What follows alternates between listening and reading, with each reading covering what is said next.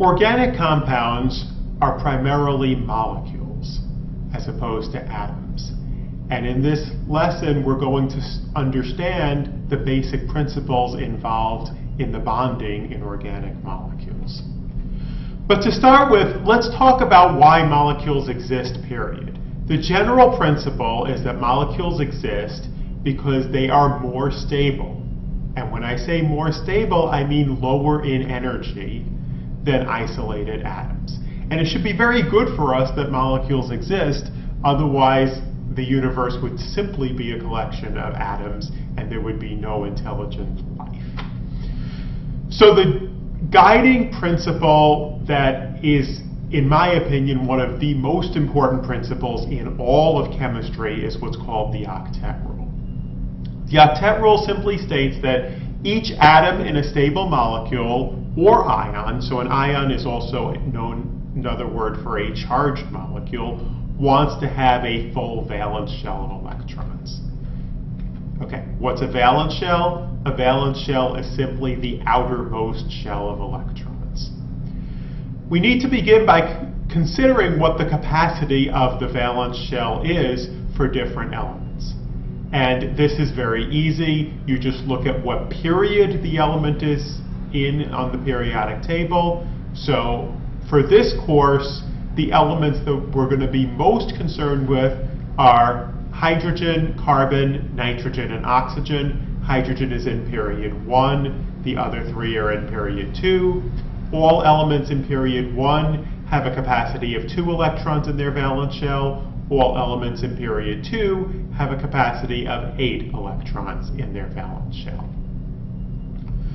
Now, except for the noble gases, which of course exist as monoatomic molecules, as free atoms, if you will, all of the other elements, their atoms do not have enough valence electrons to fill their valence shell.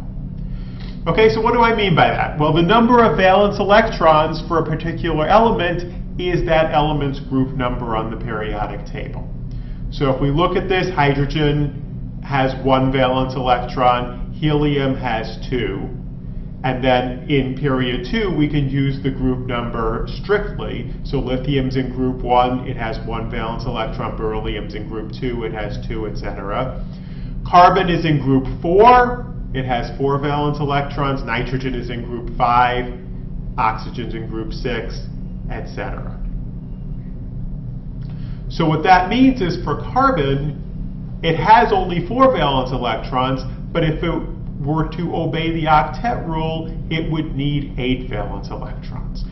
In order to be happy, it's got to get those four electrons from somewhere. Let's keep that fact in mind. Okay, so atoms combine to form molecules using chemical bonds in order to satisfy the octet rule. Well, what are the different types of chemical bonds? One type that you may have been exposed to in a general chemistry course is ionic bonding. and that is when one of the atoms loses or gains one or more electrons in order to attain a full valence shell. So once an atom gains or loses electrons, electrons of course have negative charges, so if it loses an electron, it's going to have less negative charge, therefore it will have an overall positive charge. If it gains electrons, it will have more negative charge, and therefore have a negative charge. So the classic example of ionic bonding is sodium chloride. Okay, so sodium loses an electron. It's in group 1. It loses that one electron in its outermost shell. Chlorine gains an electron. And as you can see in the diagram, both atoms, once they form ions, have eight electrons in their valence shells. Okay, so then the way you get bonding out of this is that cations, of course, are positively charged, anions are negatively charged. We know that opposite charges attract, so they are simply attracted to each other to form bonds. Now, ionic structures, sodium chloride is not just a molecule containing one ion of sodium and one ion of chloride right next to each other. They tend to be large lattices in which each cation is surrounded by many anions and vice versa. Okay, so depicted here is a small portion of the sodium chloride structure, this lattice continues for a very large um, amount in three dimensions. And you can see that the sodium cations in red are surrounded by six chloride anions in green and vice versa.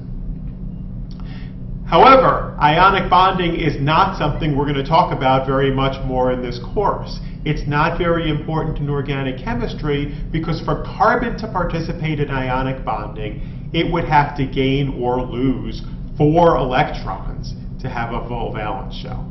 Things that have to gain or lose one electron, that's easy. But gaining or losing four electrons is going to be energetically unfavorable. So if carbon does not participate in ionic bonding, then what does it participate? Well, the answer is the other major kind of bonding, which is called covalent bonding. So covalent bonding is when two atoms share a pair of electrons with each atom contributing one electron. And what's important about this is that the shared electrons become the property of both atomic partners. A way I like to think about this is that if you get married, you will bring some stuff, your spouse will bring some stuff, and then when you make your household together, all of the stuff that previously belonged to each of you individually now belongs to both of you together. Okay, so a picture of this is carbon has four valence electrons. Hydrogen has one valence electron. So if carbon binds to four hydrogen atoms to form the molecule methane, both elements will satisfy the octet rule. Okay, so on the left here is atomic carbon and four atomic hydrogens, and you can see that none of them are happy. But then on the right, when we form a methane molecule, the one electron from each hydrogen and the each of the valence electrons from the carbon come together to form a two electron bond. So all of those electrons, the eight electrons around the carbon count towards the carbon and the two electrons on around each hydrogen count towards that hydrogen. So carbon and hydrogen are both. And the way we typically draw this is we use a line to represent the bond. So we draw a C for carbon, an H for hydrogen, and a line between them indicating the two electrons in the bond. Okay, so we've already established now that carbon can form four covalent bonds, but in order to be successful in this course, we have to know how many covalent bonds each of the important elements for organic chemistry can form. Okay, the general principle here is that the number of covalent bonds that an element can form is the smaller of the number of valence electrons that it has, which we've already seen, and the number of available orbitals. Well, that's a new concept. What's an available orbital? Well, you should know from general chemistry that an orbital can contain only two electrons. So an orbital is available, meaning that it can participate in bonding if it is either empty or half filled. If an orbital is filled, it's not going to want to get involved in sharing electrons with any other atom, and it's not going to participate in a traditional covalent bond. It can participate in a different kind of covalent bond called a coordinate covalent bond, but again, that's not terribly important in the simple bonding of organic molecules. Okay, so again, we can go through the same elements the number of valence electrons is just repeated from the prior slide, but let's consider the number of available orbitals. Elements in period one, there is just one orbital in that first shell. So in helium, that orbital is filled, it has its two electrons, therefore there are no available orbitals, and helium forms no covalent bonds.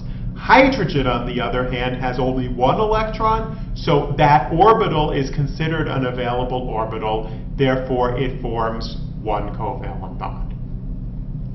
Moving into shell 2, period 2 on the periodic table, What I want to consider in, do, in making this table is all four orbitals that are available in shell 2. Okay, so shell 2 has a capacity for 8 electrons, which means there are four orbitals available in shell 2. And for the purposes of this table, we are not considering the difference between s orbitals and p orbitals, and we're not yet considering hybridization. We're going to bring those concepts into play later on when we talk about molecular geometries.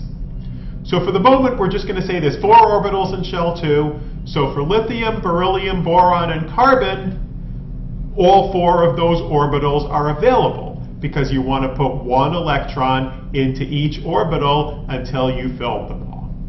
Once we get to nitrogen, though, we have five valence electrons, there's only four orbitals, so we've got to put two electrons into one of those orbitals. We've got to fill one of those orbitals.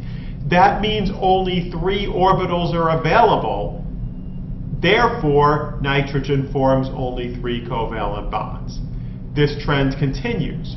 For oxygen, we have six valence electrons, but we only have two available orbitals because we have to pair up the electrons in two of those four orbitals. Therefore, oxygen can only form two covalent bonds. For fluorine, we have seven electrons. We have to pair them up in three of those valence orbitals. That leaves only one available orbital, and fluorine forms one covalent bond. And then finally, in neon, you have eight electrons. You're going to fill all four valence orbitals completely, none of them are available, and therefore neon does not form any bonds and is a noble gas.